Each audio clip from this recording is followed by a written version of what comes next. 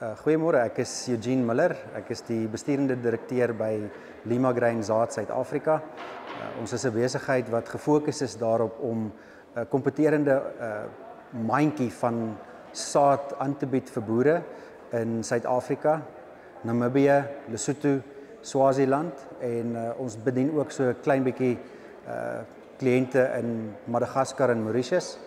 Uh ons fokus is spesifiek om uh 'n verskil te maak in die in die boerderybedryf om volhoubaarheid op die plaas uh aan te help.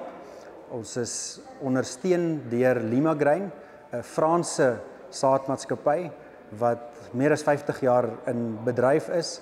Hulle is die vierde grootste saadmaatskappy in die wêreld tans en gerugsteun deur hulle ondersteuning vir navorsing, ontwikkeling uh en die manier hoe ons hierdie besigheid vorentoe dryf om te dink soos boere vir boere uh is ons baie oortuig daarvan dat ons 'n verskil gaan maak in die area wat ons diens.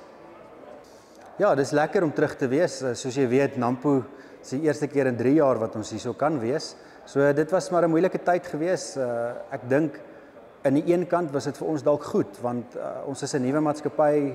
Uh ons is so 2 jaar aan die gang wat ons die drie handelsmerke K2 uh, Lima Grain of LG en Seedco bymekaar gevoeg het en as een mandjie aan die kliënt kan die, kan bied.